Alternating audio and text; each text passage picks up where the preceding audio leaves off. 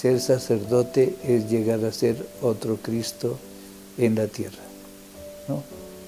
sabiendo vivir a la manera de Jesús.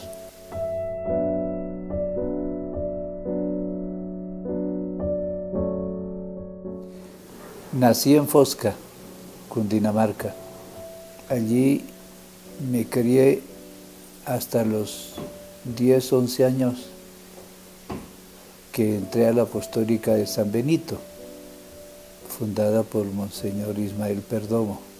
De ahí pasé al Seminario Menor de Bogotá. Estuve ahí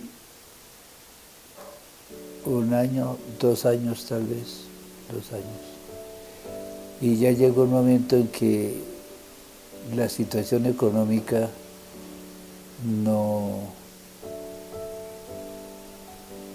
no fue favorable y a pesar de que me llevaron Monseñor eh, José Gabriel Calderón y Monseñor Sánchez a solicitar que me recibieran y que me rebajaran la pensión. No, no quisieron.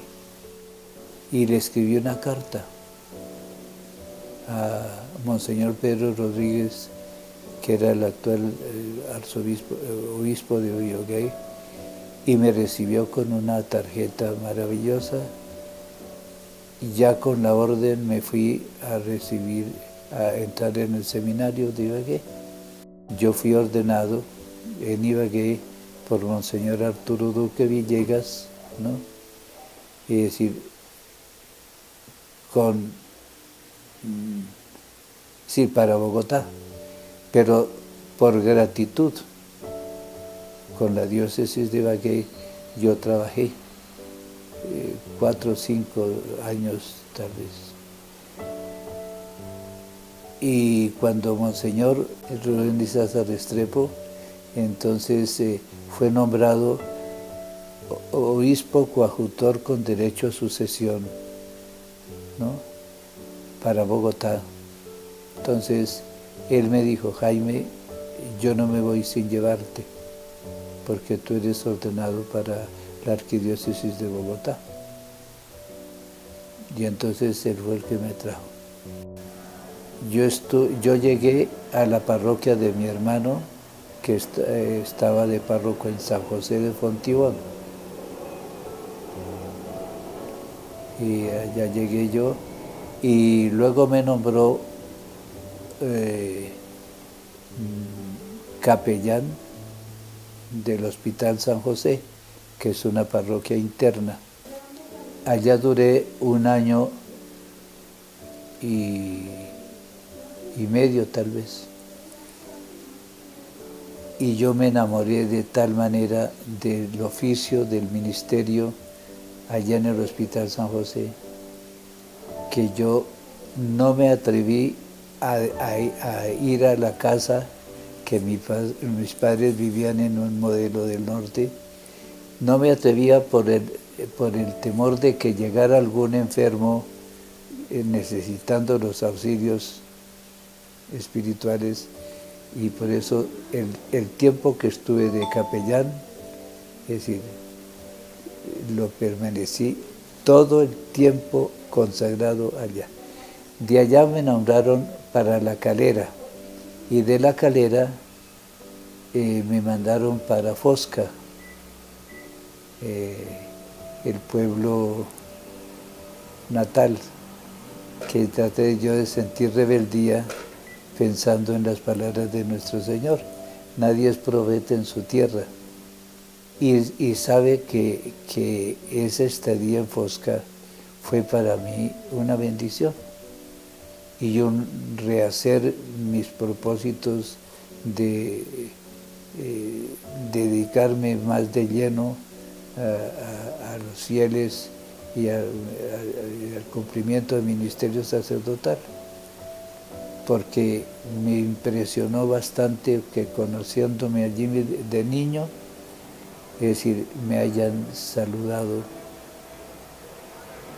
de rodillas y besándome las manos. Me hicieron sentir sacerdote.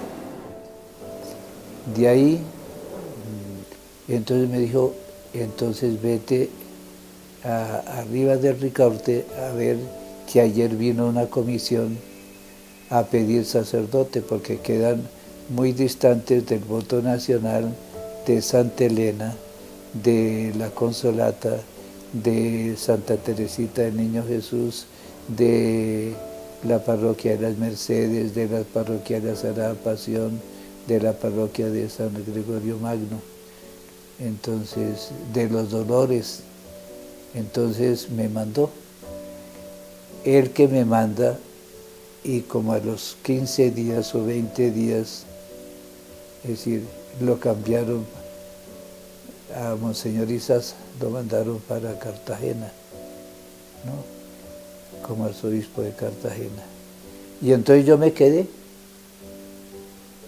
me quedé y dije, este es un anhelo del obispo y de la comunidad, pues me voy a quedar a ver para seguir luchando a ver cómo construimos la parroquia aquí. Y, y sí, me dediqué allá a trabajar y allá construí el templo, la casa cural y un colegio eh, parroquial San Roque. Duré treinta y pico de años, pero yo no pensaba en, mí, sino en servir. Entonces, de allí dejé, creo que 35 libros de bautismos. Y bueno, y me parece que cuatro o cinco libros de matrimonios. Eh, hice una labor me, entregué, me entregué de lleno. Luego me mandaron a las aguas. Allá duré ocho años. Y de allí salí emérito.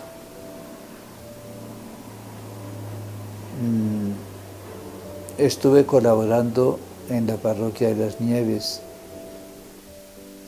Entonces pasé a servir al buen consejo con el padre Adolfo ahí en el buen consejo que queda arriba de Cristo Rey.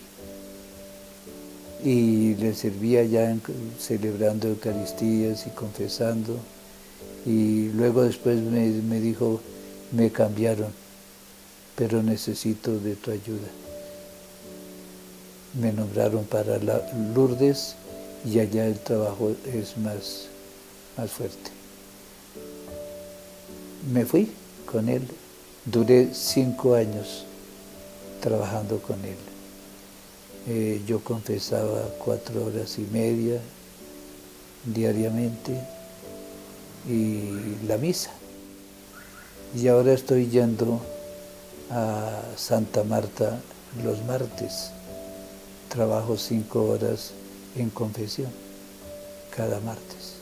Trabajo esas cinco horas y es el único oficio que, que tengo ahora.